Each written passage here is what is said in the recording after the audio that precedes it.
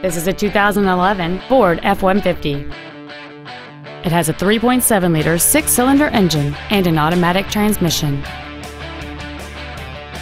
Its top features include a passenger side vanity mirror, a full-size spare tire, a low tire pressure indicator, traction control and stability control systems, an anti-lock braking system, a passenger side airbag, rear seat child-proof door locks, and an anti-theft protection system.